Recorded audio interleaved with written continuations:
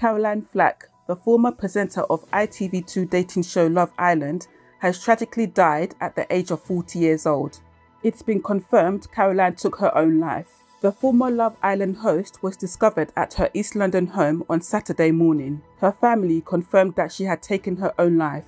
Caroline's sudden death has left her family, friends and fans reeling and many shared their tributes and memories on social media. An ITV spokeswoman said Everybody at Love Island and ITV is shocked and saddened by this desperately sad news. Caroline was a much loved member of Love Island team and our sincere thoughts and condolences are with her family and friends. Colleagues at The X Factor also posted a touching tribute on Twitter saying, We are absolutely devastated by this tragic news.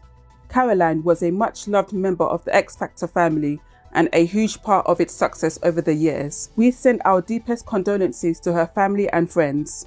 The presenter had been due to stand trial on March 4th for an alleged assault on her boyfriend Lewis Burton, an incident which plunged her career and personal life into crisis.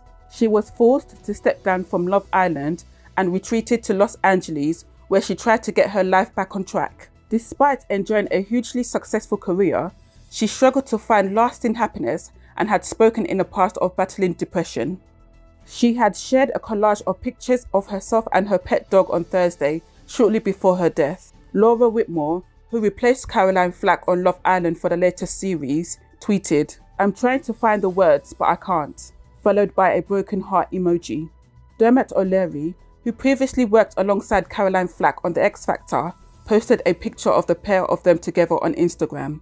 He said, Just the worst news. Poor soul, sending love to hers and yours. Hold them tight tonight, people. X candles lit. Thank you. Please subscribe, comment, and hit the bell icon to be notified for new uploads. Also, visit our website www.dailygist.uk or www.dailygist.ng.